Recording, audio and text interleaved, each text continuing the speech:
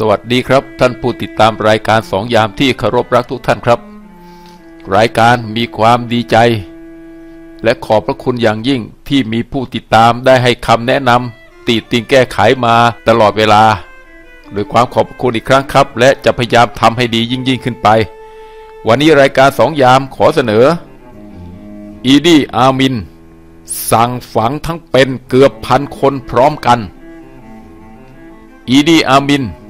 อดีตประธานาธิบดีของอูกันดา ในช่วงปีคริสตศักราช 1971 ถึง 1979 เขาคือผู้นำจอมโหดที่สุดของแอฟริกา เนื่องจากผลงานการกำจัดฝ่ายตรงข้ามของเขา ล้วนแต่เป็นเรื่องโหดร้ายทั้งสิ้น เรื่องการฝังคนทั้งเป็นพร้อมกันเกือบพันคน และส่งผลให้ผลงานนรกคราวนั้นถูกจัดอันดับอยู่ในเรื่องของความโหด อนชงนระดับโลกไม่ลืม อีดีอามิน เป็นคนใจเหี้ยมเกรียม การที่เขาสั่งให้มีการสังหารหมู่หรือเก็บศัตรูทางการเมืองของเขาเป็นปริมาณมากๆ เป็นเรื่องที่แทบไม่มีใครอยากเชื่อว่าจะทำได้ทั้งๆทที่โลกยุคที่อามินเรืองอำนาจ เป็นยุคหลังสงครามโลกครั้งที่สองเกือบ 30 ปีเข้าไปแล้ว การสังหารหมู่ผู้คนทั้งๆทที่โลกหมดยุคสังหารยิว หรือญี่ปุ่นสังหารหมู่ชาวจีนที่นานกิงไปนาน ถือได้ว่าอามินเป็นคนที่ฝังจิตฝังใจกับการสังหารหมู่ในอดีตเป็นอย่างมาก ตัวเขาเองมีความชื่นชมในผลงานการสังหารยิวนับล้านคนของฮิตเลอร์ จนถึงกับแทบจะยกให้ฮิตเลอร์เป็นวีรบุรุษในดวงใจ เมื่อเป็นเช่นนั้นจึงไม่ใช่เรื่องยากที่เขาอยากจะจดจำ และกระทำตามวิธีการสังหารคนตามแบบเผด็จการที่เขาชื่นชอบบ้าง ทั้งๆทที่รู้ว่ามันคนละยุคคนละสมัย หากแต่ถ้าได้ทำแบบนั้นแล้ว สามารถจะกำจัดศัตรูได้ก็ถือว่าคุ้มค่าเป็นอย่างยิ่งสำหรับอีดีอามิน ปีคริสตศักราช 1971 อามินประกาศยึดอำนาจจากประธานาธิบดีออบอตในขณะที่ท่าน ประธานาธิบดียังคงอยู่ในประเทศสิงคโปร์เป็นการยึดอำนาจที่ไม่เพียงแต่ออบอตจะตะลึงงันและคาดไม่ถึง แต่ผู้คนที่สนับสนุนออบอตก็ไม่ทันได้คิดว่าทุกอย่างจะรวดเร็วถึงขนาดนั้น อาเมดโอดูก้าคือนายตำรวจใหญ่คนหนึ่งที่พักดีต่อประธานาธิบดีออบอต และรับรู้ว่าอามินมีแผนการจะต้อนรับการกลับมาของออบอตในการสังหาร ในวันที่เดินทางกลับ เพื่อให้หมดเสี้ยนน้ำในการครองอำนาจของเขาโดยดุษฎี โอดูกาส่งข่าวให้ออบอตรู้ตัวทำให้อดีตประธานาธิบดีสามารถรอดพ้นเงื้อมมือของอามินไปได้ โดยเลือกไปลี้ภัยยังประเทศที่สามแทน เพื่อรักษาชีวิตเอาไว้ หลังจากส่งข่าวออบอตแล้ว โอดูก้าก็รีบออกจากอูกันดา เพราะกลัวภัยมืดจากอามิน โอดูก้าหนีไปกบดานอยู่ที่เมืองมอมบาชา ได้ราวสองเดือน อามินปฏิวัติยึดอำนาจเมื่อเดือนมกราคม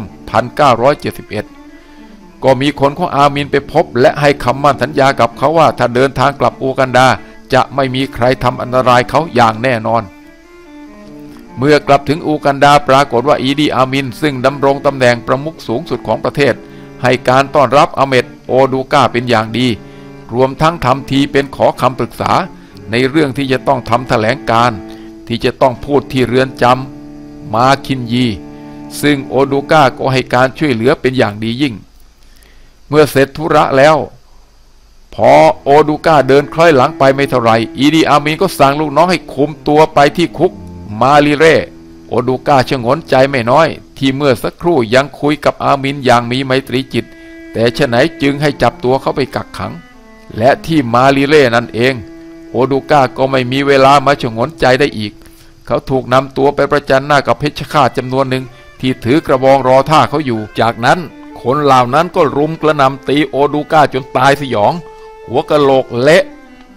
ตามความต้องการของอีดีอามินผู้นำคนใหม่ ล่าสุดของทศวรรษที่ 70 นั้นนั่นเอง อามินมีความเชื่ออยู่เสมอๆว่า ออบอสจะต้องกลับมายึดอำนาจจากเขาไม่วันใดก็วันหนึ่ง ทั้งทั้งที่มั่นใจในความโหดเหี้ยมและกองกำลังที่มีอยู่ในมืออย่างเต็มเปี่ยมก็ตามที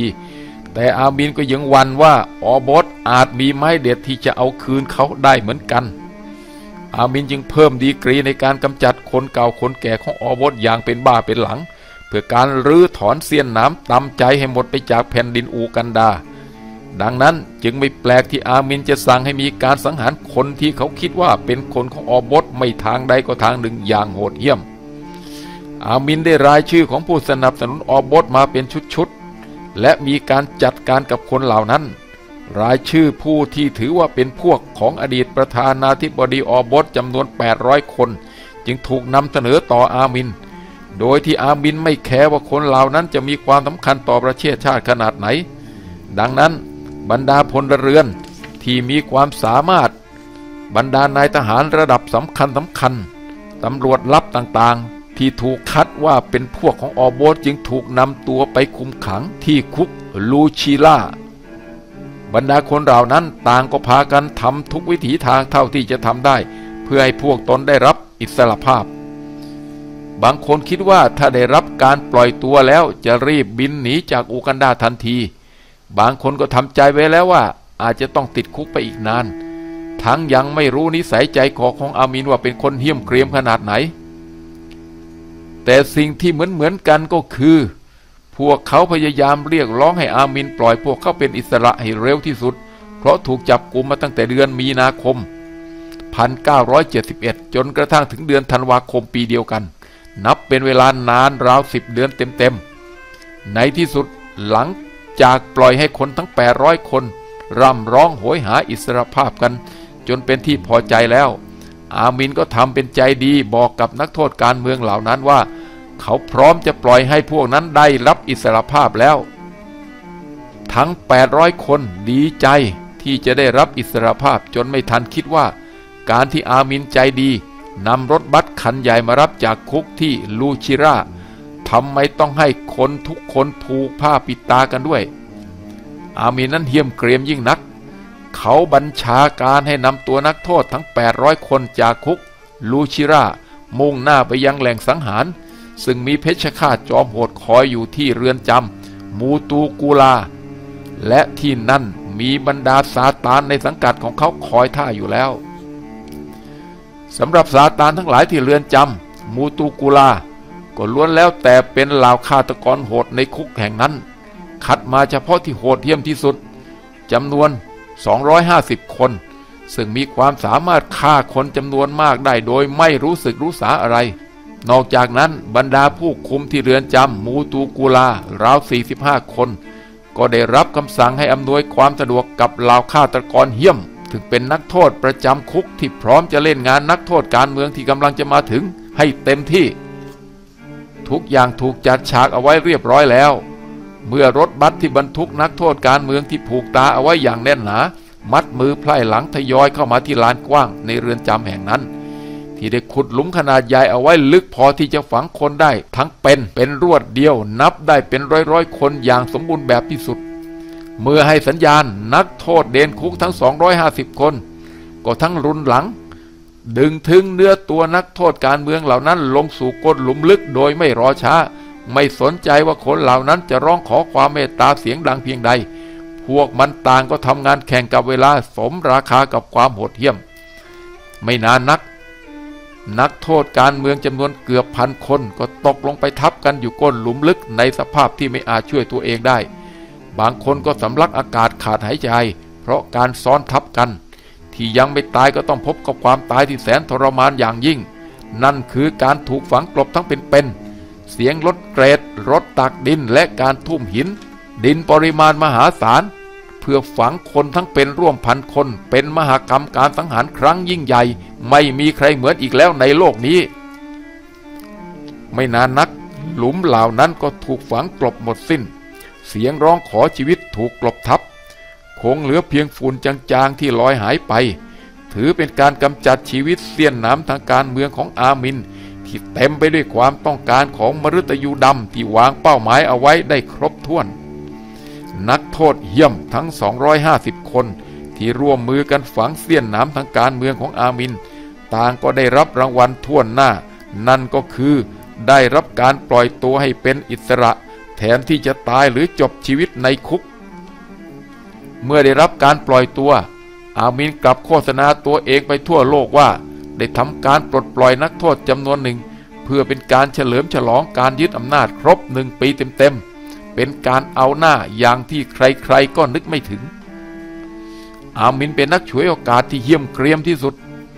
เขาใช้มือนักโทษเดนตายมาทำการสังหารเสียนหนามทางการเมืองยังไม่พอ ยังใช้คนเหล่านั้นเป็นเครื่องมือเรียกคะแนนนิยมจากผู้คนชาวอูกันดาอีกด้วย พฤติกรรมแบบนี้ของอามินกลายเป็นลักษณะประจำตัวของเขาตลอดเวลาที่ขึ้นเป็นผู้นำสูงสุดของประเทศ ลึกๆแล้ว เขา เป็นคนที่คบหายากที่สุด เพราะคำพูดของเขาที่มีต่อใครๆ เป็นสิ่งที่ยึดถือไม่ได้เอาเสียเลย บ่อยครั้งที่ศัตรูทางการเมืองของเขาได้รับการต้อนรับอย่างดี จากนั้นก็ถูกสังหารโหดในภายหลัง อามินย่ามใจมากยิ่งขึ้น เมื่อได้กำจัดศัตรูทางการเมือง และผู้ที่ให้การสนับสนุนออบดลงไปเรื่อยๆ บางครั้งเขาก็มองกลับมาที่ผลพักของตัวเอง เป็นครั้งคราว และพยายามทดสอบความจงรักภักดีของคนเหล่านั้นอยู่เสมอๆถ้ามีข้อสงสัยเพียงน้อยนิด เขาจะสั่งเก็บคนคนนั้นทันที ทั้งทั้งที่ไม่มีหลักฐานแน่ชัด ว่าคนเหล่านั้นจะเอาใจออกห่างจากอามิน